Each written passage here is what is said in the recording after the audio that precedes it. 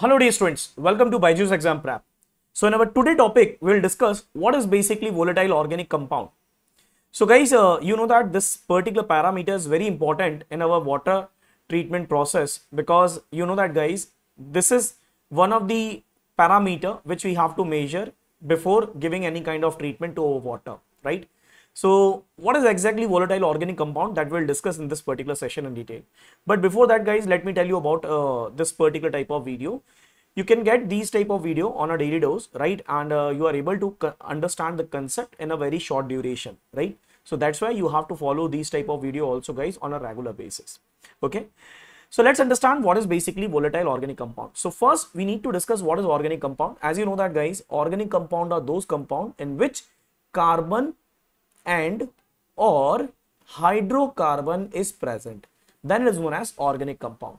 Now these organic compound of two type basically one is volatile in nature and second one is non-volatile in nature. Non volatile in nature right? Usually volatile compound is also known as basically these type of compound can convert themselves into the gas. But non-volatile compound are also known as fixed type of compound or fixed type of organic compound. Now why it is known as fixed? Why it is basically volatile? Let's understand in detail.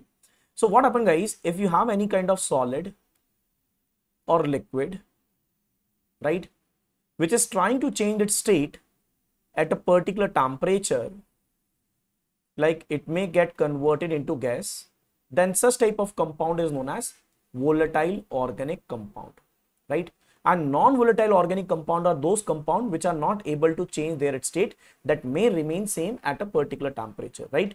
So let us suppose if you have solid or liquid, then solid or liquid will remain same. It will not changing its state.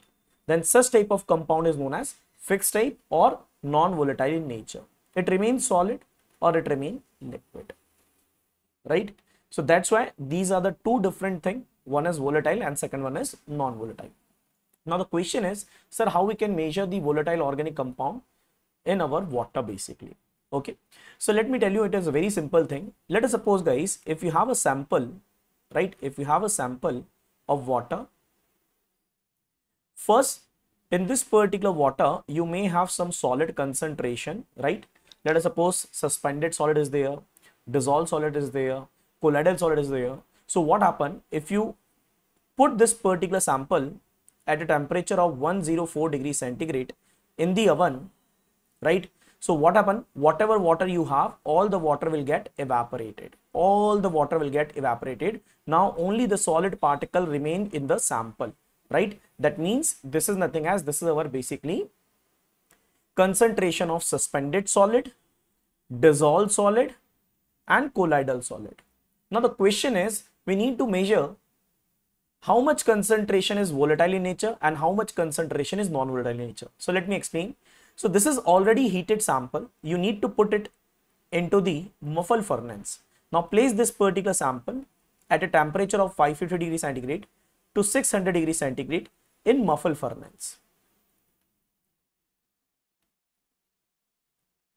In muffle furnace for one hour duration. If you put it, so whatever volatile organic compound is there that may get evaporated. Okay.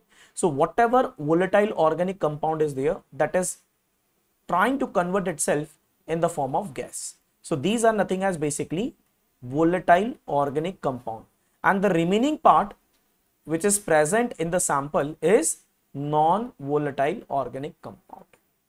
Getting my point? Clear? So guys, how you can measure it? It is very simple. Let us suppose the amount of suspended solid, dissolved solid and colloidal solid we have in this particular container is W.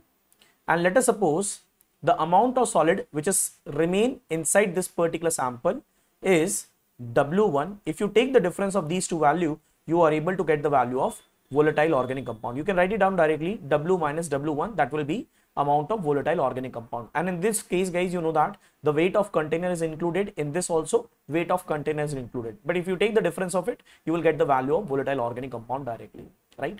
So i hope all of you are able to understand what is basically works and uh, how we can measure it okay?